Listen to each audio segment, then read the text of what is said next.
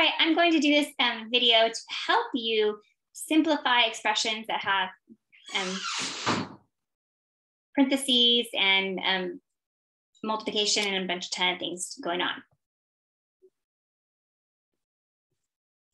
The one thing I will say that the big mistake that students make with something like this is they think that there's an equal sign there and they try to like subtract things from both sides or add things to both sides. And you have to recognize here that there is no equal sign. This is not an equation.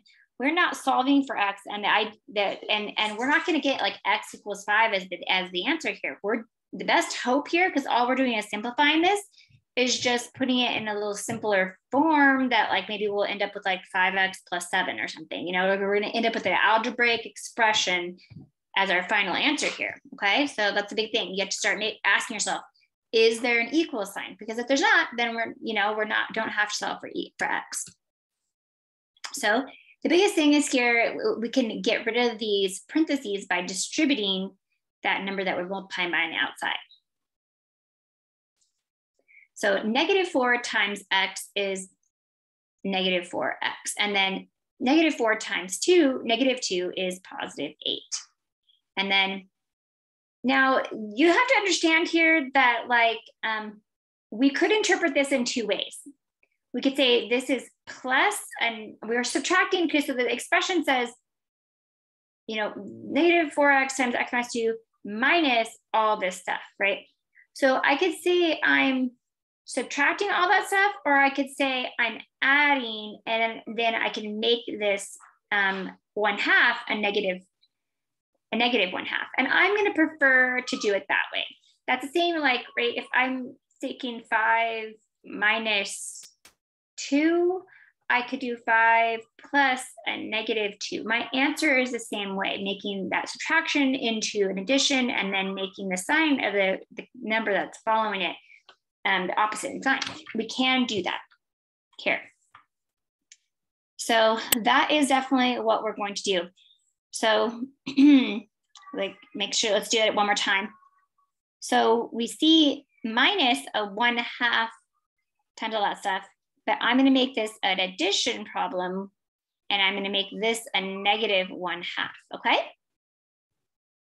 The mistake that I see students do um, with this type of problem is they they do accidentally do both they, they, we have only one negative sign here. So we can either apply this as like negative one half times by negative 10 which would be positive and then negative one half times by negative 10 and but should be positive. We could apply that negative sign when we distribute okay which is what i'm going to do.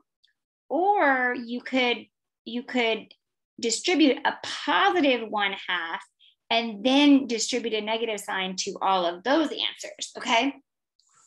You could do either way, but the one way that you cannot do it is that, that students make mistakes with is they they distribute a negative one half, but then they also keep that another uh, they, they also make everything negative later like there's still a negative. They do it as if there's still a negative sign out here.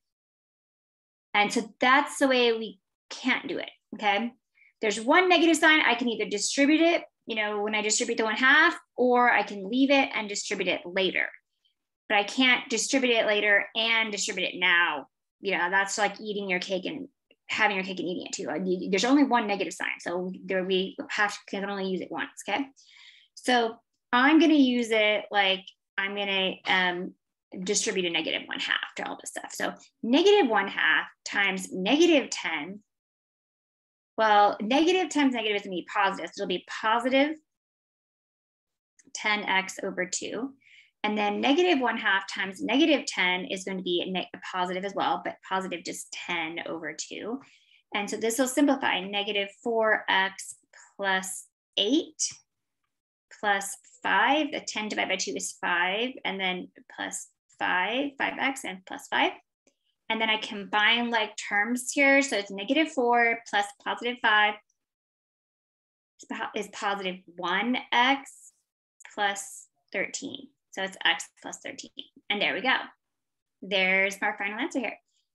So um, yeah, I think the way I did it is much better. Like you, when you, when um, you just apply the negative sign to whatever the, the number is here after, and then, and then distribute it. That way you just, we just do it right away and we get it done with. So we don't have to um, worry about, you know, having to distribute it else also later. All right.